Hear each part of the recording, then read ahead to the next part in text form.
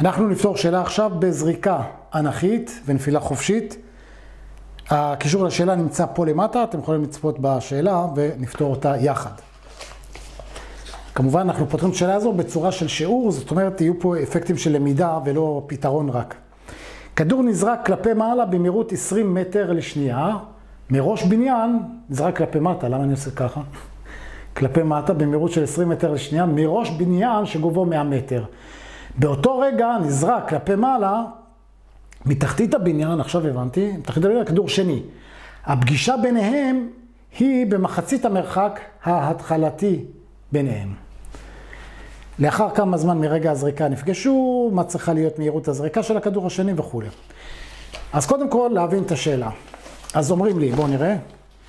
כדור נזרק כלפי מטה במהירות 20 מראש בניין, שגובהו 100 מטר. אז הנה בניין, הגובה שלו זה 100 מטר. אז זה כדור הראשון, נזרק כלפי מטה. במהירות 20 מטר לשנייה. V0 שווה 20.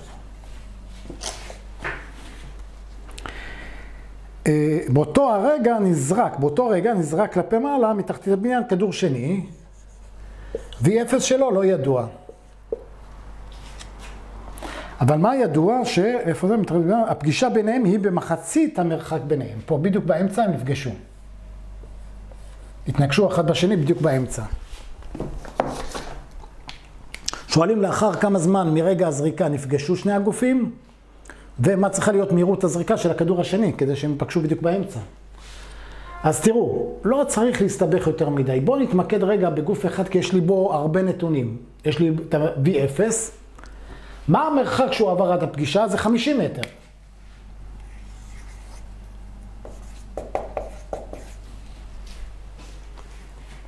ויש לי את התאוצה שלו, G, רק צריך להחליט אם זה מינוס 10 או 10. עכשיו תראו, אני יודע שרבים מכם קצת מתבלבלים, רגע, תאוצה שלילית, התאוצה חיובית, אם הכיוון חיובי כלפי מעלה, הכיוון חיובי כלפי מטה וכל זה. תסתכלו, תסתכלו על כל גוף, מה הוא רואה בעצמו. נסתכל על כדור הזה, הגוף הזה שנמצא למעלה. הוא, המהירות שלו כלפי מטה, אז בואו נקבע בשבילו שהכיוון החיובי כלפי מטה. מהירות שלו כאן, כיוון החיובי כלפי המהירות, תמיד. ההתחלתית לפחות. עכשיו, הוא מאיץ, אומרים מאץ, לא, מאיץ. הוא מאיץ או מאט? הוא מאיץ, כן? הוא בירידה, הוא מאיץ. לכן התאוצה היא עם כיוון המהירות. התאוצה היא עם כיוון המהירות, לכן התאוצה שלו G 10 מטר לשנייה בריבוע. עכשיו, אני אחשב את הזמן שלוקח לו לעבור מפה עד לפה. באיזה נוסחה? חבל שלא רשמתי את הנוסחאות לפני זה. אפשר, יש לנו את הנוסחה הזו. יש לנו VT שווה V0 ועוד GT, נכון? יש לנו X שווה V0 T ועוד GT בריבוע. חלקי 2, G או X או H, לא חשוב, בסדר? אני חושב שאני אשתמש בזה, יש לנו פה הכל. בואו נראה. H זה 50 מטר. שימו לב, קבעתי שהכיוון החיובי ולכן ה-H שלי זה 50. הכיוון החיובי כלפי מטה, המהירות כלפי מטה, תאוצה גם כלפי מטה. 50 שווה V0, T.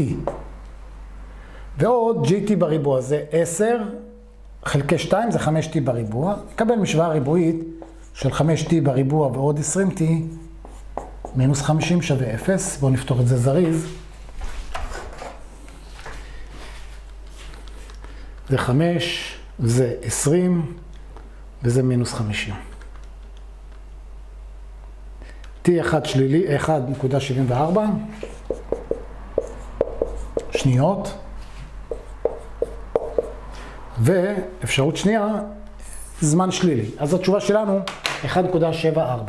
אז הזמן שלוקח לגוף הראשון להגיע עד אמצע הדרך, זה 1.74. אז זה קודם כל עלינו על סעיף א'. עכשיו שואלים אותנו מה צריכה להיות המהירות של הגוף הזה, מה המהירות ההתחלתית שלו, כדי שהוא יגיע גם הוא, שיפגוש אותו פה. אז אנחנו יודעים שהוא אמור לעבור גם H50, נכון? אנחנו יודעים, הם יצאו יחד, אנחנו יודעים שהזמן שלו, מפה עד לפה, צריך לקחת 1.74, כי הם אמורים להיפגש פה בדיוק יחד. אז גם הוא, הזמן שלו, שנייה 74. מה ה-G? אז עוד פעם, אני מסתכל על הגוף הזה, המהירות שלך לשמה, אז נקבע את הכיוון החיובי למעלה. מהירות לשמה, כיוון חיובי למעלה. אתה זורק את הגוף כלפי מעלה, הוא מאיץ או מאט? הוא מאט. זאת אומרת שהתאוצה נגד המהירות, ולכן התאוצה שלך נגד המהירות, נגד הכיוון החיובי. מינוס עשר. טפל בו בנפרד, בו בנפרד. אוקיי. מה יש לנו? אה, מחקתי את הנוסחאות, נו, כל הכבוד. אז יש לנו uh, VT שווה V0, uh, GT, יש לנו את זה ואת זה. כן, ניקח את הנוסחה הזו. בסדר? ניקח את הנוסחה הזו. לא, VT אין לנו. הלאה, איזה עוד נוסחה הייתה לנו? טוב, חייבים להשתמש בזה. Uh, H שווה V0, T פלוס GT בריבוע, חלקי 2. H זה 50.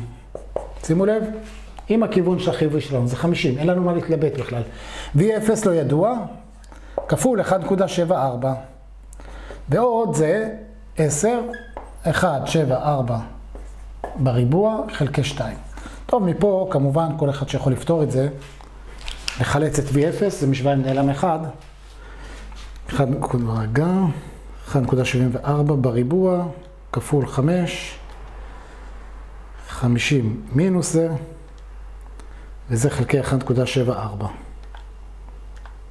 מהירות צריכה להיות 20.03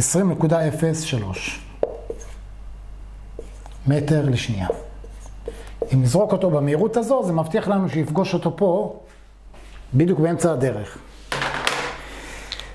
זה הכל חברים, שמחתי לעזור לכם, אני אודה לכם, תעשו לייק לסרטון ותרשמו לערוץ, אנחנו ניפגש בסרטונים הבאים. אז תודה, ביי ולהתראות.